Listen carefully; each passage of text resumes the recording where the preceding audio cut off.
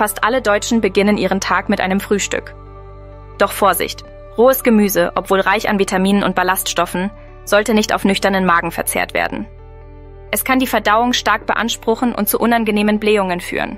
Daher ist es ratsam, rohes Gemüse erst später am Tag zu genießen, um Verdauungsprobleme zu vermeiden.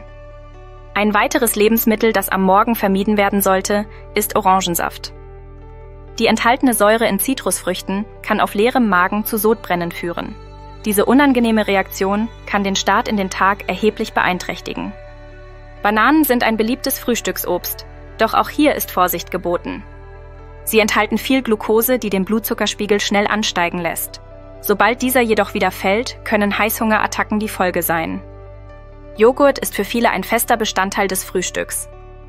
Doch auf leeren Magen verzehrt, werden die gesunden Milchsäurebakterien durch die Magensäure zerstört, bevor sie den Darm erreichen.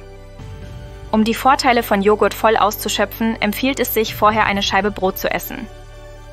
Das Frühstück ist zweifellos eine der wichtigsten Mahlzeiten des Tages.